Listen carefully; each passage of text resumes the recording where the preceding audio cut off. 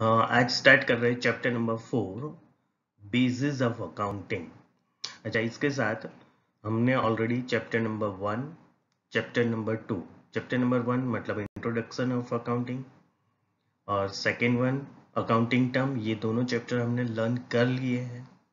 अच्छा chapter number six में से मैंने सबसे पहले लेक्चर में आपको अकाउंटिंग रूल दिए हुए हैं। नाउ हम स्टार्ट कर रहे हैं चैप्टर नंबर फोर उसका पार्ट वन अच्छा बेसिस ऑफ़ अकाउंटिंग तो अकाउंटिंग की अकाउंटिंग रखने के लिए दो बेस रखे हैं।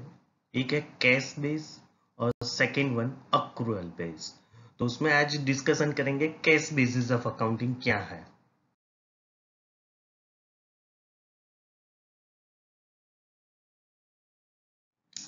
Cash basis of accounting Under this system of accounting, transactions are recorded in the books of accounts only on the receipts or payment of cash. मतलब सिर्फ कैश ट्रांजेक्शन रिकॉर्ड करेंगे it means revenue is recognized on receipt of cash. Likewise, expenses are recorded as incurred when they have been paid.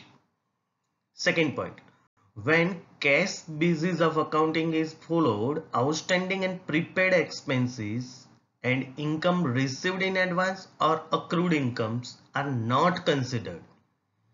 अच्छा तो ये जो outstanding expense क्या है prepaid expense क्या है इनकम रिसीव्ड इन एडवांस किसको बोलेंगे अक्रूड इनकम तो ये इसके बाद वाली स्लाइड में आपको मैं एक्सप्लेन भी करूँगा now third point The difference between the cash incomes and cash expense represents profit or loss of a business for the accounting period. Repeat. Cash base accounting में क्या करना है आपको मेन कैश इनकम और cash expense को ही consider करना है दैट्स वाई प्रॉफिट और लॉस जानना है तो भी आपको क्या करना है सिर्फ़ कैश में जो आपने रिसीव्ड की है, वही इनकम कंसिडर करेंगे और जो एक्सपेंसेस पेड कर दिए है कैश उसको ही हम कंसिडर करेंगे।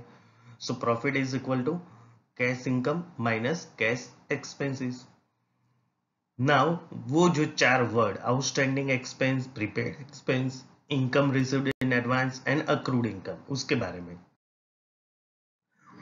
तो meaning of special accounting terms में first one outstanding expenses outstanding expenses are those expenses which have become due. During the accounting period, but which have not yet been paid.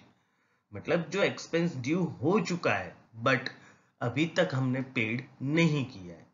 Suppose हमने shop rent पे ली हुई है right और मान लो last एक महीना या दो महीने का रेंट हमने किसी भी वजह से पेड नहीं किया है राइट उसके ऑनर को हमने बोल दिया था कि अभी कैश प्रॉब्लम होने की वजह से एक दो महीने हम पेड नहीं करेंगे राइट आफ्टर दैट एक साथ तीन महीने का पेड करेंगे। तो ये जो एक महीना या दो महीने का रेंट आपने पेड नहीं किया है, उसको बोलेंगे आउटस्टैंडिंग रेंट सिमिलरली दूसरा word prepaid expense right prepaid मतलब वहाँ से ही समझ जाना चाहिए कि prepaid expenses are those expenses which have been paid in advance for next accounting period. Okay? फिर accrued income. So accrued income is an income which has been earned during the accounting period but has not yet become due and therefore has not been received. Next one income received in advance. So pre-received income is an income which has been received before it has been earned तो advantages and disadvantages of cash based accounting में पहले advantages तो cash based accounting जो है, वो एक simple method है। It is a simple basis of accounting मतलब इसके कैलकुलेशन में आपको ज़्यादा कोई दिक्कत नहीं आएगी। Second this is more objective, as very few estimates and judgment are required and third advantage is, this basis of accounting is suitable for those enterprise where most of the transaction are on cash basis अच्छा तो इसके अब disadvantages जो right hand side पे मैंने mention किए disadvantages में first one cash based accounting does not give a true and fair view of the profit or loss of an enterprise. It does not follow the matching principle of accounting ये next chapter में हम पढ़ने वाले हैं chapter number तीन में कि matching principal क्या है।